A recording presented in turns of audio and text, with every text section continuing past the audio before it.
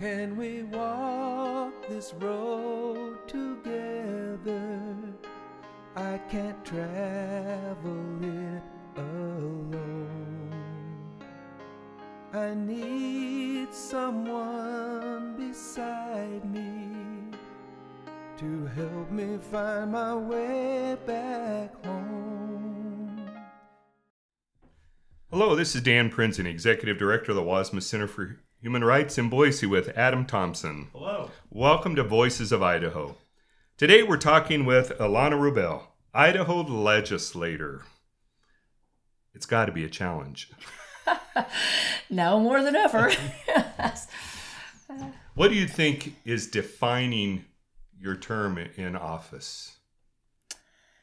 Um, boy, well, uh, you know, I, I hope it's um, it's a healthy mixture of idealism and pursuing the big goals, but practicality and actually getting things done.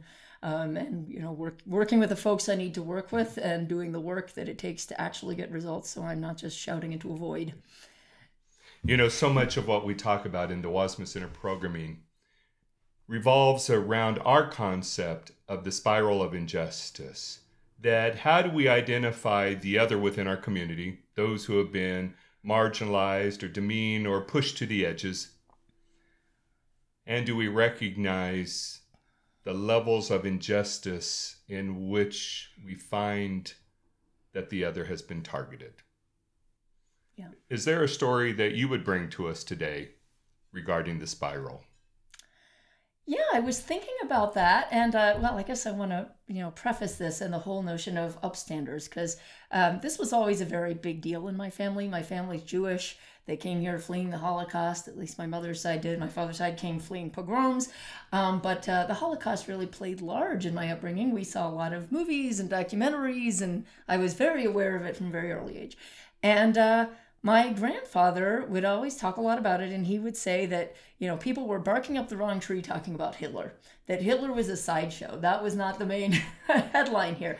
Um, that he was just an easy scapegoat for humanity and the real story were the millions of people who went along with him and made it all possible. And that's where we should be focusing our concern and really analyzing how did that become possible. Because he always said, you know, I don't know if Hitler ever killed a single person. It's like, I don't know if he ever personally pulled the trigger on killing sure. one single person. Um, but he was able to kill six million people um, through the inaction and, you know, complicitness of others um, and that really the whole Holocaust was a story of what mankind is capable of, mm-hmm. and the fact that you know in any given situation, if it's the easiest thing to do, then ninety percent of people will go along with that. Um, he also told me the story of the Milgram study and how the overwhelming majority of people would just keep pushing the button until they thought they were killing somebody, you know, rather than actually stand up and do the hard work of of, of confronting them.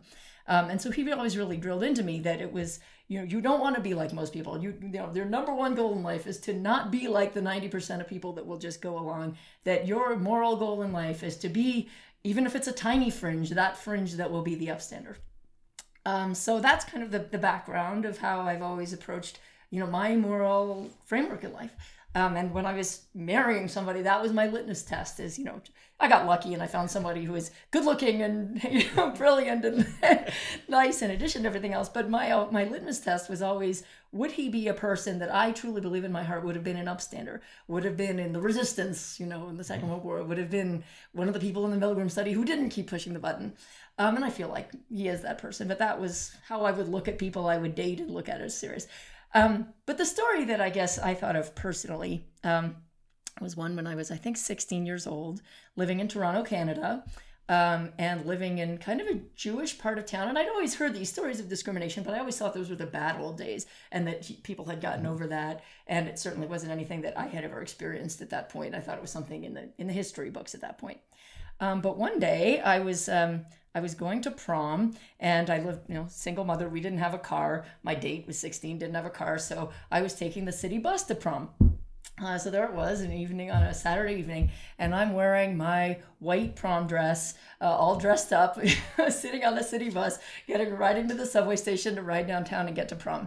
Um, and there were these kids on the bus um, that looked at me, and I guess you know, I'm, I guess I must be very obviously Jewish looking or whatever. And they they just started saying, "Wow, look at the look at the little Jewish girl there, all dressed up to for prom."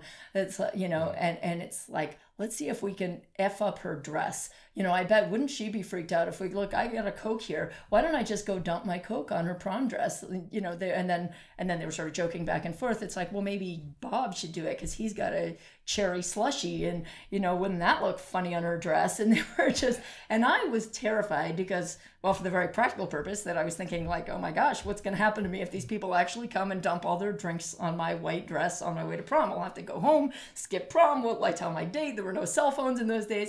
Um, but obviously, it was a, it was a terrifying and very painful experience, and it was kind of a wow. This this isn't something that's in the history books. This is apparently something that can happen in an enlightened city with even a large Jewish population like Toronto. Um, but the other thing that struck me about the experience was there were other people on the bus. Not a lot, but there were probably four or five other people sitting on the bus as well um, who did nothing and who just were sort of watching it and and just waiting to see what would happen. They seemed interested in a kind of a, oh, let's see how this plays out. But there really wasn't anybody that intervened. Um, and again, this sort of flashed me back. I'm like, wow, my grandfather was right. you know, this is this is too dominant a pattern with people that they will just sit here and not do anything. And I was just racking my brains of like, what do I do? You know, I'm like, I don't want to give them the satisfaction of crying or or fleeing or running. You know, I kind of wanted to run up to the bus driver, and I thought about that a lot. And I'm like, well, would that just give them satisfaction, feeling that they'd won? Um, and I was just trying to sit there, staring ahead, fighting back tears, and trying to figure out how to deal with the situation.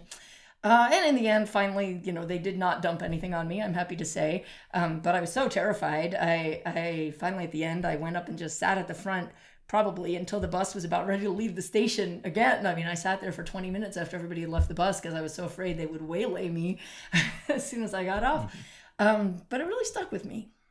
And again, the silence of people at least as much as the actions of my tormentors. It's oftentimes in our programming we will talk in terms that any one of us, all of us, at some moment we've been the other, where we become the target. Mm-hmm. And the recognition that it can happen in so many different ways. Right. At so many different times. This is Eva Wilson's What It Is. Freedom. What a beautiful word. Freedom to be me, freedom to express my opinions, I have so much while others have little. I have the right to live, to breathe, to just be free. Freedom. What a bold word. Free to run, free to love, heart and soul. No worries. Happiness is no stranger. Free to feel, free to speak. Nothing could be better than to be so free. Freedom seems to soar like a hatchling just barely finding its wings. Free to choose, free to climb higher, I crash and fall. I learn and I grow because I am free. From your own family story, what now do you feel is the legacy you're giving to your children? What becomes the story that is shared for a new generation? Well, you know, I certainly hope that I've carried on my grandfather's emphasis that um, you don't be one of the crowd. Um, it's much more important to be able to live with yourself and feel like you always did the right thing. And if that means you're standing up against, you know, 50, 100 people and the only voice in a room, be happy. That's where you want to be. Um, and I hope that I've demonstrated that. I mean, that certainly has been um, a guiding force for why I got into public office. Um, it's guided many of the initiatives that I've taken on in, in public office um, the first bill I, I passed was an anti-bullying bill.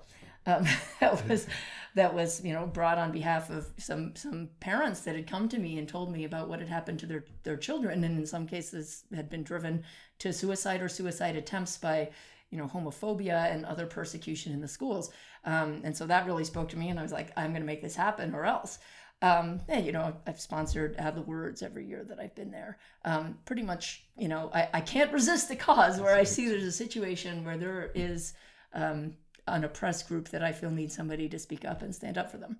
And I really hope that my kids see that. They know that I'm doing it. They, they hear about it nonstop at home over the dinner table. And so I certainly hope they, they do that in their own lives. What role do you see that schools play in this? Well, I think the, the same role that all humanity plays, um, but perhaps a, a, heightened role for schools because they are the guardians of our children. They have them more hours of the day often than parents do. um, and uh, you know they're present and and in charge of a very potentially fraught situation. Um, kids are still learning the parameters and can be really rough on each other. Um, and the schools are sort of the first line of seeing what happens and being in an empowered position to uh, uh, to address it. Um, so I do think there is um, perhaps a heightened burden even on schools to keep an eye out and make sure that they are really vigilant in in protecting against children suffering unduly at each other's hands at an early age. Well, we're in an environment surrounded by the words etched into the stone of the Idaho Anne Frank Human Rights Memorial. Is there a particular quote that speaks to you? Yeah, there is. The one that I picked um, was a quote from Dr. Chaim Ginott, um, and I'll just read it. It says, uh, Dear teacher, I am a survivor of a concentration camp. My eyes saw what no person should witness gas chambers built by learned engineers, children poisoned by educated physicians, infants killed by trained nurses, women and babies shot and killed by high school and college graduates. So I am suspicious of education. My request is help your students to become human. Your efforts must never produce learned monsters, skilled psychopaths, or educated Eichmanns. Reading, writing, and arithmetic are only important if they serve to make our children more humane. Um, and that really spoke to me. I'm, you know, I'm an enormous advocate of education. You know, I, I, I hope all my kids get degrees and postgraduate degrees and all that. But I think it's really um, important to remember that none of that matters. Your titles don't matter. How much money you make matter. Uh, your degrees don't matter. Um, if you're not an upstander, if you're not a good person at the end of the day, working um, to better the world, then it's in my mind completely irrelevant what you know what other achievements you can rack up. And I think people can get far too distracted in pursuing those um, peripheral feathers in their cap and and lose the sight of what really matters. Ladies and gentlemen, thank you for joining us for Voices of Idaho today with Ilana Rubel.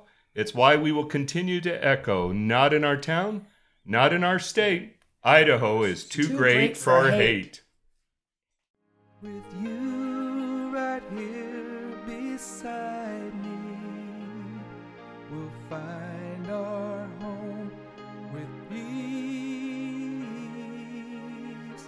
again.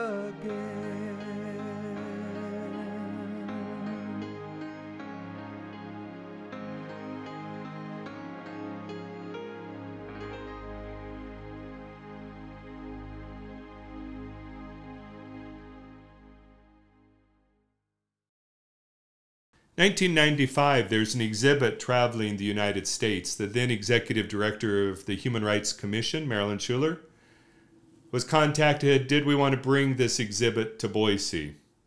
Anne Frank in the World. It was a pricey exhibit, so Marilyn did what we all do in nonprofit work. She reached out and fundraised, meeting with businesses, community leaders, individuals to bring the exhibit to town for one month in 1995. In that month's time, 40,000 people came to the exhibit. Obviously, something in Anne Frank's story resonated. Hi there. Thanks for listening to this episode of the Wassmuth Center podcast. The clip you just heard is from a new type of episode where Dan and I will be talking about specific aspects of the Wassmuth Center. The first episode of this type will be premiering next Monday, September 16th, where we talk about the history and necessity of the Anne Frank Human Rights Memorial. Big thank you to Ilana Rubel for coming on the podcast this week and telling your story. The Voices of Idaho is created by Dan Prinzing and produced and edited by me, Adam Thompson. Thanks. See you next week.